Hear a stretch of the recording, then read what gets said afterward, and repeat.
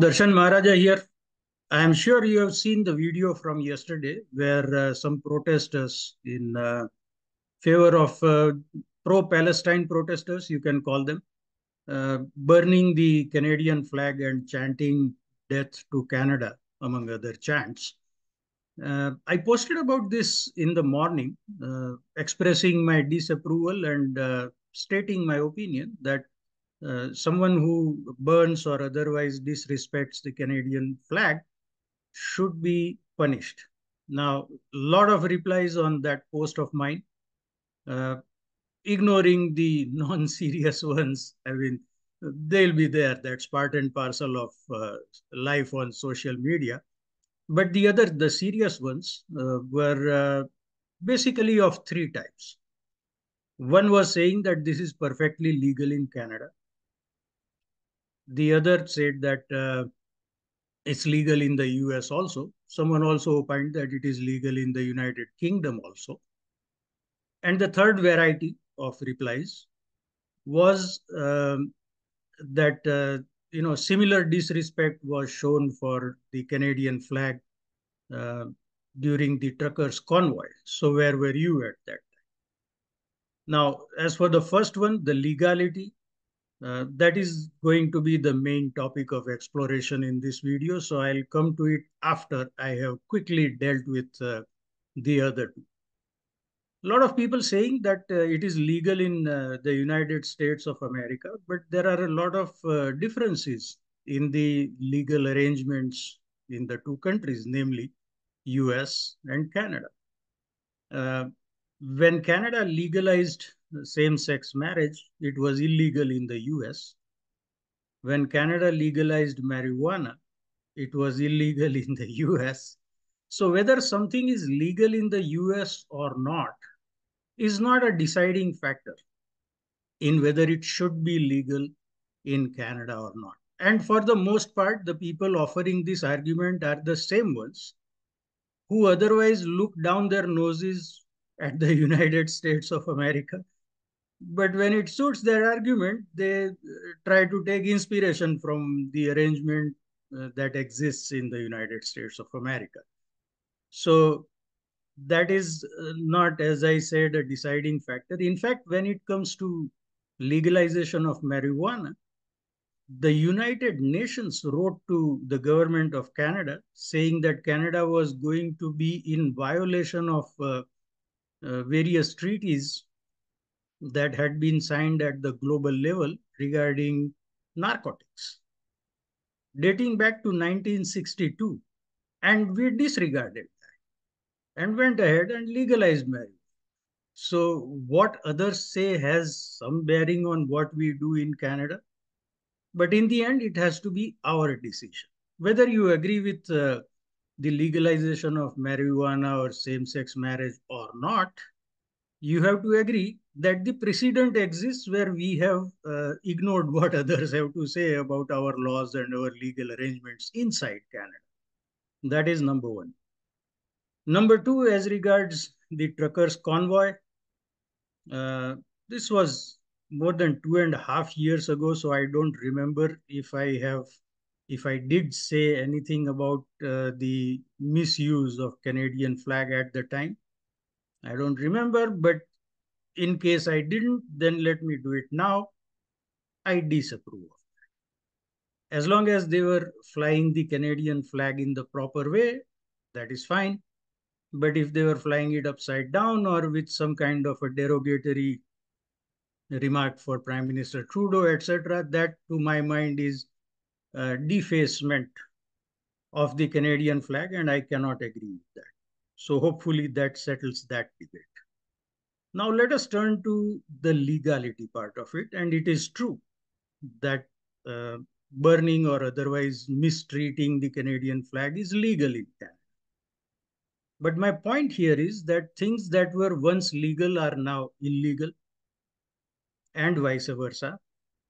For example, there was no law against discrimination at one point in time. So it was legal, but now it is illegal. And things like uh, same-sex marriage and marijuana were illegal. Hard drugs are still illegal, but uh, there is a wink, wink, nudge, nudge arrangement where uh, we don't go hard on uh, people who are consumed. Uh, that is a separate debate as to whether that is the correct approach or not. But my point here is that legality of things changes over time because the law has to keep changing according to the social atmosphere that exists at a particular point in time. So it behooves us to revisit the legality of uh, either burning or uh, disrespecting the Canadian flag. I'm a freedom of expression guy, as hopefully you know. But this is something, uh, an inquiry worth having, because there are uh, certain situations that I can envisage where uh, this treatment of the flag uh, can be seen as being problematic. In the abstract, yes, we can see that it's a freedom of expression issue, and therefore there is a charter protection, uh, freedom of expression, and therefore it should be legal. But one key test of legality is whether it is applied evenly in different circumstances. Now, let's look at other countries'. And in this, of course, over the past one year, the Israeli flag has come under special attack. It has been burned, it has been ripped up, it has been torn apart, stomped on, etc.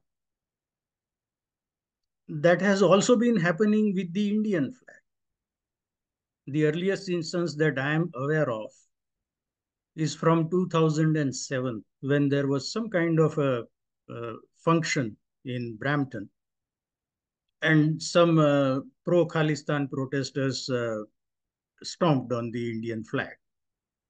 Now, if we are going to say that any country's flag can be treated this way, you run into problems. Because the flag of Saudi Arabia has a religious inscription on it. In fact, it is the uh, avowal of faith in Islam.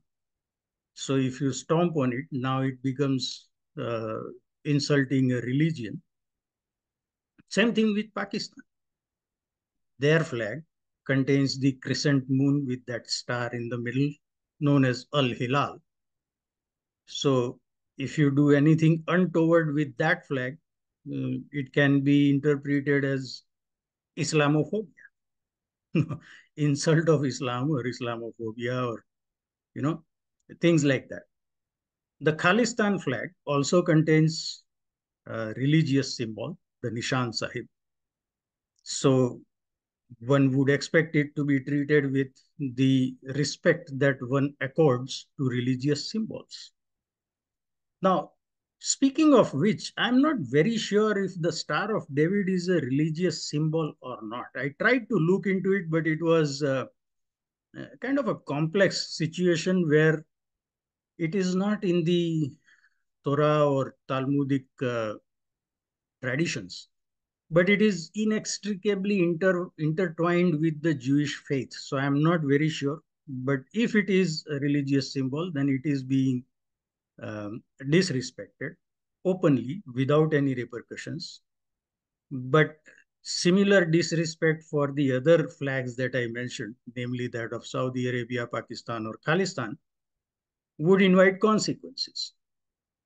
So, and it's not just uh, limited to religious symbols only.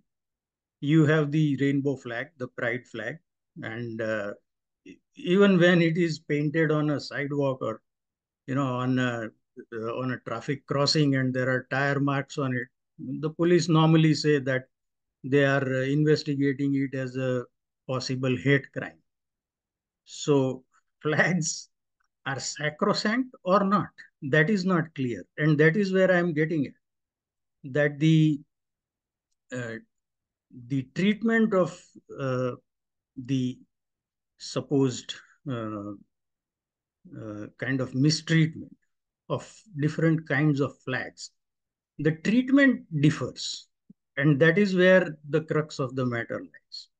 But specifically talking about uh, Canada, let's say if somebody did something similar with the flag of Quebec,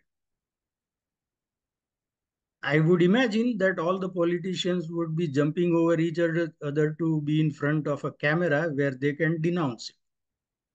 I have not seen any denunciation of the burning of the Canadian flag from any politician other than, I think, Melissa Lantsman. So I may be missing a few others. I mean, I could be wrong here, but uh, th there is hardly any uh, uh, objection to this coming from the political quarters.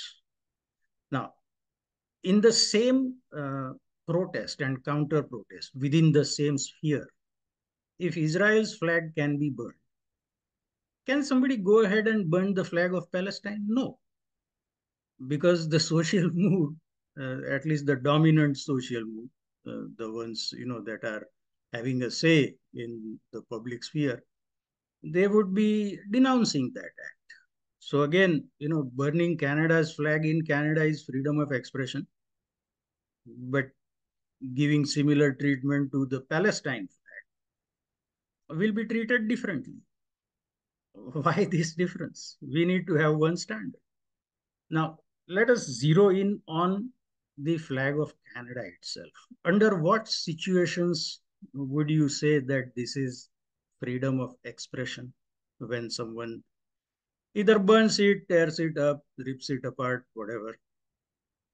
Let us say there is a citizenship ceremony where someone who is until recently permanent resident has been granted Canadian citizenship and then they do something similar with the Canadian flag during the ceremony.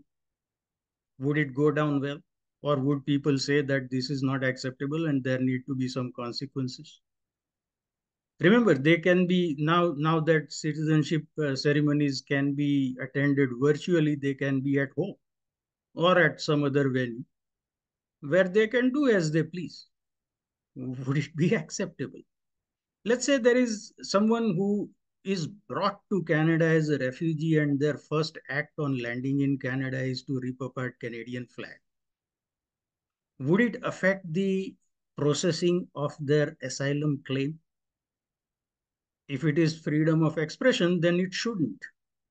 But the person has clearly expressed a distaste for Canada of the extent where they are willing to do something like this public. Would we treat it as differently? And if we don't, if we say that this is freedom of expression, then what kind of society are we engendering? Now, there is this charter right thing. But within the same charter, it says that there can be reasonable restrictions on charter rights that the government at its discretion may place. Now that discretion is not supposed to be unlimited, although sometimes it tends to be. So I know that I'm entering a gray area here. But can the government go ahead and place a reasonable restriction that people who are not citizens of Canada will have consequences for showing disrespect to the symbol of Canada, the flag. I mean, it's something for legal minds to pour over. I'm not a lawyer. But one thing I know, that in the case of Muhammad Harkat, the Supreme Court of Canada ruled that the protection under the charter is not available to foreign nationals to the same extent that it is available to Canadian citizens. Now, if you say that disrespecting the flag of Canada should be illegal only for foreign nationals, does it amount to discrimination on the basis of nationality? Probably the, the such a law, if made, would be challenged in court, and then the courts will have to decide on whether this is a reasonable restriction on the charter right of the foreign national or not. These are the issues to explore. And uh, unfortunately, on Twitter, the platform being what it is, does not allow for a uh, detailed uh, exploration of these issues, but I thought I'll make a video and put this in front of you so then you can tell me in the comments what you think about this. Do let me know. Until we meet again, goodbye and be well.